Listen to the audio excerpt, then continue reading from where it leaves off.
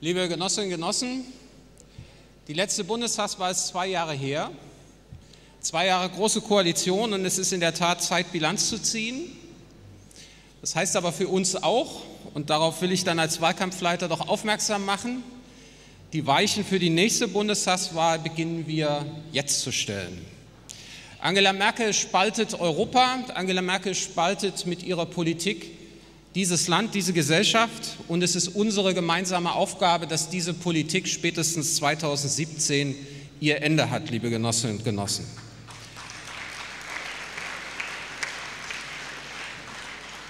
Wir wissen aber auch, so richtig Wechselstimmung macht sich nicht breit in Deutschland. Und gleichzeitig wissen wir, dass wir für viele unserer Forderungen und Projekte hohe Zustimmungswerte in allen Bevölkerungsschichten in Ost und West, bei Jung und Alt erzielen können. Was heißt das jetzt für uns und wie kann man das eine irgendwie näher an das andere heranbringen? Ich glaube, liebe Genossinnen und Genossen, das Zutrauen von Bürgerinnen und Bürgern in die Chancen eines Politikwechsels, denn darum geht es, steigt dort, wo das Vertrauen in die Kompetenz derjenigen wächst, die für einen solchen Politikwechsel streiten und stehen. Und dazu gehören wir. Und äh, deswegen will ich aus meiner Sicht benennen, was das für uns heißt. Es geht für uns um Verlässlichkeit des politischen Handelns. Bürgerinnen und Bürger müssen wissen, woran sie mit uns sind. Es geht zweitens um Präsenz und Sichtbarkeit. Ich möchte, dass wir uns als Partei nicht zufrieden geben mit der Tatsache, dass wir immer weniger Mitglieder haben. Und ich möchte, dass wir uns nicht darauf begrenzen, nur in Wahlkämpfen Kontakt zu Bürgerinnen und Bürgern suchen, sondern dass wir jeden Tag, dass wir im Alltag für Bürgerinnen und Bürger erreichbar sind.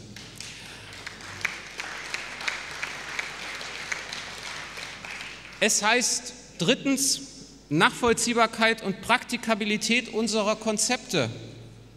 Die Menschen müssen verstehen können, worum es uns geht. Es muss mit ihrer Lebenswirklichkeit zu tun haben und es muss ihnen umsetzbar erscheinen. Und natürlich gehört dazu viertens, dass wir in unseren Reihen starke Persönlichkeiten haben, die mit ihrem Gesicht für unsere Politik und unsere Partei stehen. Und letztlich wünsche ich mir, dass wir als Partei nach außen auch ein Bild abgeben, das zeigt, dort wird diskutiert, dort wird um wichtige Fragen gerungen, aber dort wird sich auch respektiert Dort herrscht eine einladende politische Kultur und politische Differenzen tragen wir nicht über Unvereinbarkeiten aus, liebe Genossinnen und Genossen.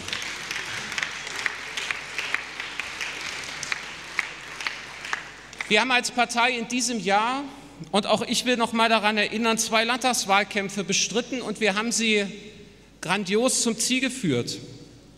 Diese Wahlergebnisse in Hamburg und Bremen sind nicht vom Himmel gefallen, sondern sie haben aus meiner Sicht sehr viel mit diesen Punkten zu tun, die ich eben genannt habe.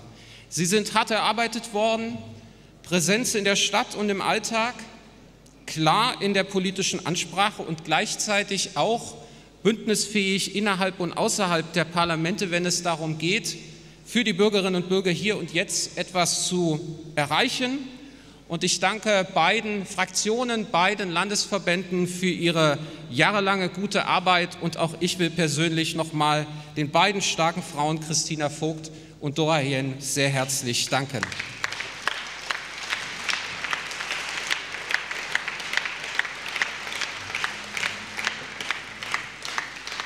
Liebe Genossinnen und Genossen, Zutrauen in linke Gestaltungskompetenz prägen wir maßgeblich auch dort, wo wir jeden Tag in praktischer Verantwortung stehen. Das gilt zum Beispiel in Borna, wo morgen Simone Lütke als Oberbürgermeisterin wiedergewählt wird, denke ich doch, nicht wahr, liebe Genossinnen und Genossen?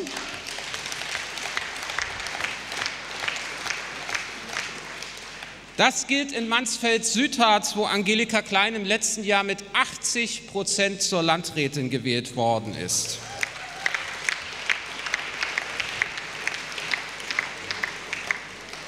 Und das gilt natürlich auch in Thüringen, wo wir seit dem 5. Dezember den ersten linken Ministerpräsidenten Bodo Ramelow in unseren Reihen haben.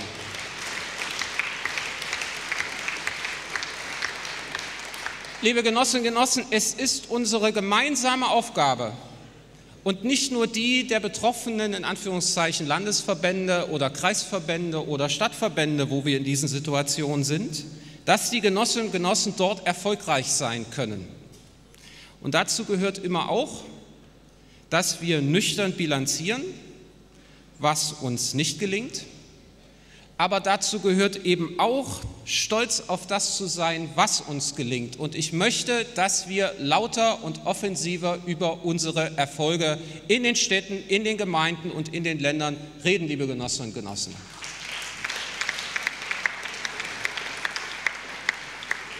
Wenn wir die Energie, die mitunter in innerparteiliche Empörungswellen oder in taktische Spielchen oder was auch immer wir erleben in unserer Partei investiert wird, dafür nutzen, offen und laut darüber zu reden, was diese Genossinnen und Genossen in diesen verantwortlichen Positionen an großartiger Politik machen, wären wir einen großen Schritt weiter, liebe Genossinnen und Genossen.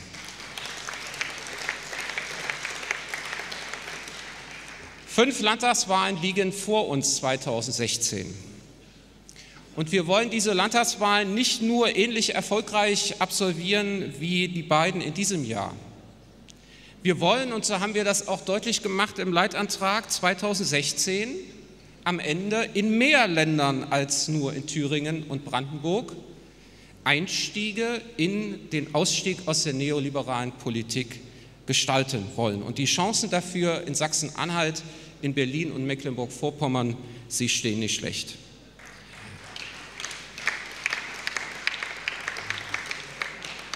Liebe Genossinnen und Genossen, bevor wir uns alle daran gewöhnt haben und es niemandem mehr auffällt, will ich an eine Sache dann doch erinnern.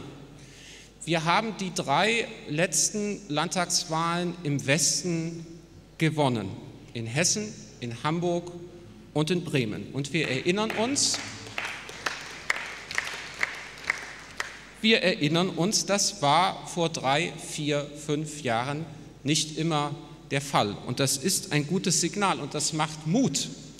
Und wir haben im nächsten Jahr in Baden-Württemberg und Rheinland-Pfalz Wahlen und haben die Chance, dort erstmals in die Landtage einzuziehen. Und das wäre nicht nur richtig und wichtig, weil die Landespolitik dort auch einen parlamentarischen Druck von links dringend notwendig hat, sondern in beiden Ländern wäre es natürlich auch ein wichtiger Schritt für die Partei, für unsere politische Verankerung vor Ort und für den Parteiaufbau. Und natürlich sollte niemand unterschätzen, wer unsere bundespolitische, unsere bundespolitische Präsenz und Wahrnahme verbreitern will, der braucht eine wachsende Verankerung in den alten Bundesländern.